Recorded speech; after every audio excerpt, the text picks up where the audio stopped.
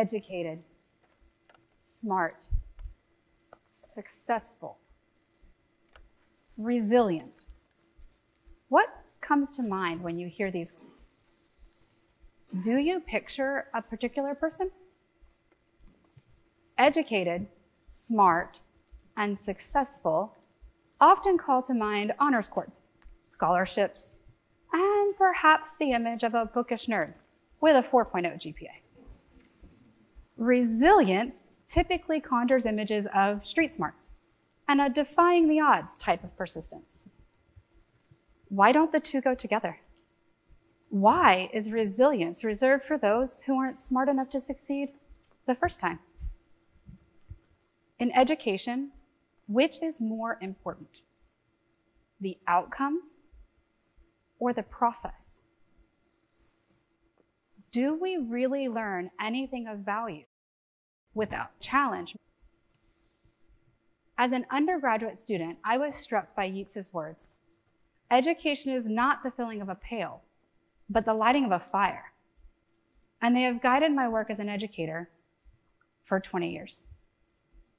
It seems to me that high school students are increasingly walking into the world with a small pail filled by others.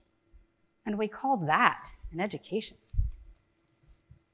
I'd like to introduce you to a student of mine, Mary. When I met Mary, she was in the sixth grade, and I was her guidance counselor. She had a spark to her that made me shake my head and grin. By mid year, she was in my office quite frequently. And despite the best efforts of everyone around her, she barely passed the sixth grade or the seventh. Eighth was a stretch too. During class, she was more likely to be found in the bathroom painting her face with whiteout than completing an assignment. By her eighth grade year, I had become Mary's tutor. Her required science fair project that year qualified her for the district competition. Rather than being excited, Mary was quite disappointed that the work was going to continue. She was also fairly surprised to find out that all of the conclusions she'd written were wrong because when her teacher helped her calculate the data, several rows had been left out. She grudgingly did everything I asked her to do to rework that project. But Mary obviously didn't seem to understand why the missing data changed anything. How does a bright, creative eighth grader not even realize that the conclusions she's written don't match what she observed? Well, thus far, Mary's school experience had not equipped her to think independently. She had no connection to the learning whatsoever her pail was being filled by everyone else. Let's think about Yeats's pail versus fire analogy. Building a fire requires several key elements kindling, tinder, a spark, fuel, and oxygen. The ability to think independently provides the same reaction in learning as kindling would for a fire. But how do we cultivate thinking? Ask questions. Well, what questions? Do we pose deep philosophical questions such as, why can parrots talk but not monkeys? No. Kids ask those questions quite naturally. The key is actually in responding to their questions with questions, such as, well, what do you think? Where could we find that answer? What did you do the last time you faced this situation? Questions such as these will lead children to their own conclusions and create the confidence for facing unknowns and difficulties independently in the future. Over time, when you ask them if they've read the instructions, you will hear responses such as, well, actually, yes, I just don't understand step four. And they will begin to ask genuine questions rather than cry out the generic, I need help. Remember Mary? Last we heard, she was bewildered by her science fair project, painting her face with whiteout, drawing on her shoes, or doing just about anything other than learning during school. So her mom chose homeschool over public school or private school options for the ninth grade. Mary wasn't happy. She desperately wanted a chance to attend public school. So a deal was struck that if she could prove herself capable, she would earn the right to try public school the following year. Virtual classes were a disaster for Mary. She was unable, unwilling, or both to follow multi step instructions for completing assignments. So she switched to textbooks instead. At first, there was a lot of staring into space. And when asked why she wasn't working, she would say, I don't know what I'm supposed to do. But when her shoulder shrugs were met with questions or shoulder shrugs from her tutors, she would eventually find the instructions and get to work. Lo and behold, when left to read, answer questions, and write essays at her own pace and with the freedom to dictate her own schedule, Mary proved herself quite capable of learning and completing tasks independently. Thus, she earned the right to try public school in the 10th grade. Have you ever watched as a fire was lit only to burn briefly and then fizzle out before the larger wood could catch the heat? Tinder, not the app young people love, but medium sized burning material, is required for a fire to burn. The ability to navigate failure provides the same reaction in education as Tinder does for a fire.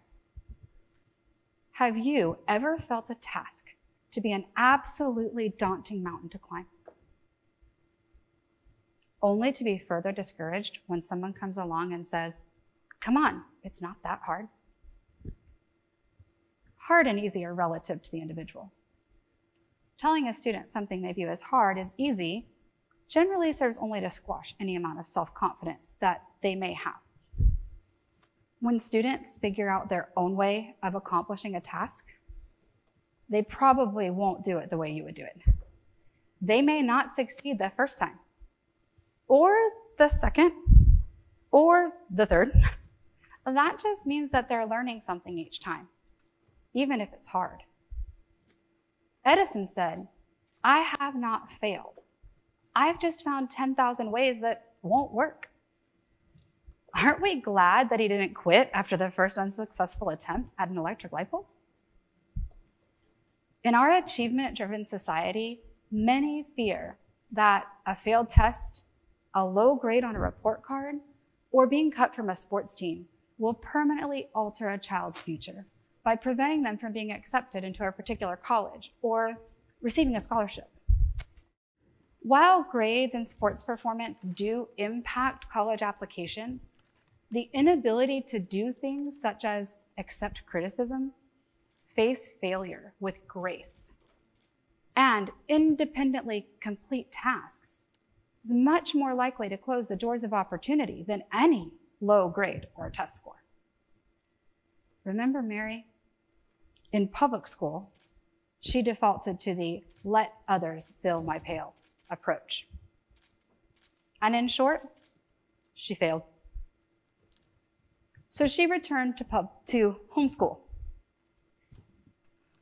and began to truly find her own way of learning and discerning. She even began to sing the praises of non traditional schooling. She found a way to bring together I don't have to do what everyone else is doing. And there are some things that must be done. She found a way to have a sense of self in her learning. The spark of a fire that won't go out is a sense of self and personal investment. Now, Mary is a stakeholder in her own success instead of depending solely on the choices of others. Have you ever started a new job and had no idea where to find the most basic information that everyone took for granted?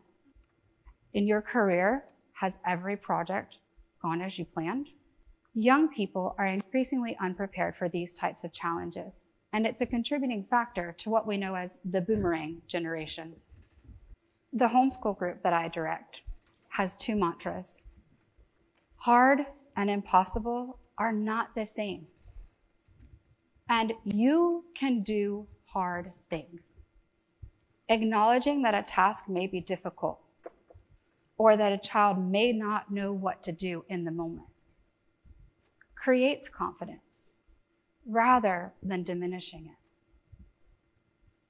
And it provides the fuel for the fire to continue burning persistence. We've heard so far that Mary has kindling of independent thinking, tinder of navigating failure, a spark, a sense of self. But what about keeping the fire going? What about sustaining that? The fuel for a fire that won't go out is persistence. Persistence is often difficult to define. In simple terms, it's not giving up when things are difficult. But it also includes the idea of trying new approaches when what you're doing isn't working. If persistence is the fuel for the fire, creativity is the oxygen. One cannot exist without the other.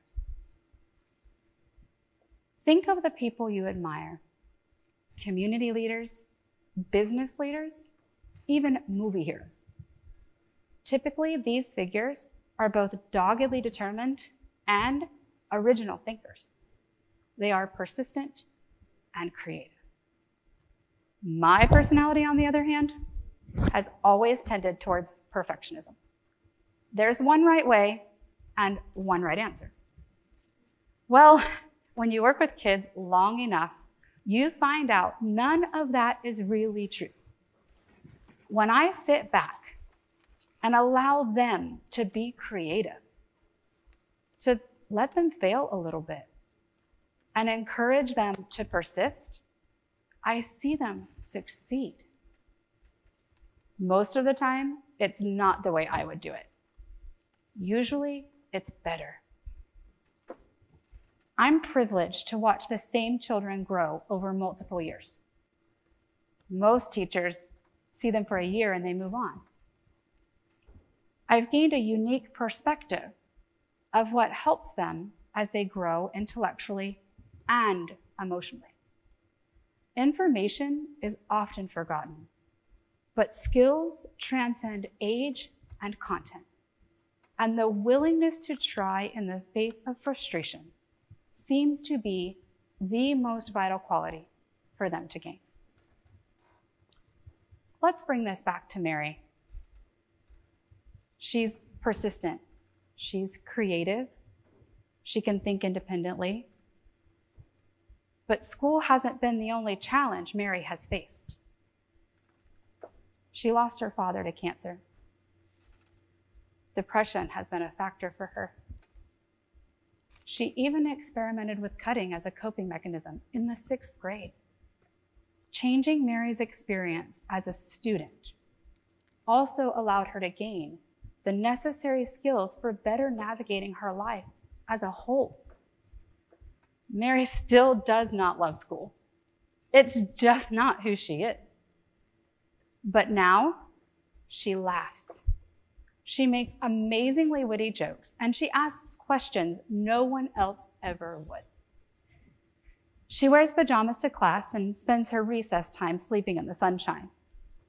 And unlike her teacher, she usually keeps her shoes on. Despite the fact that she'd rather be on Instagram, Mary's work is usually done on time or even ahead of deadlines. This year, she even chose to step up her academic game, to complete high school a full year early, and be able to enter the workforce. Mary has an intellectual fire all of her own, rather than a small pail filled by others. It could be that if we change our focus from good grades to good thinking, our children will develop in healthier ways.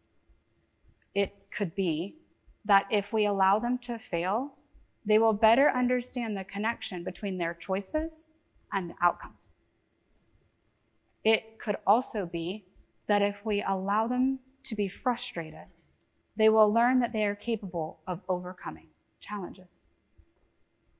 Chances are we all know a student like Mary, or two, or five, who will benefit from independent thinking, persistence, and creativity.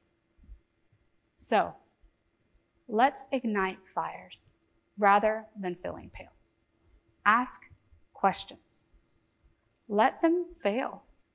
Encourage persistence and leave some room for creativity. Thank you.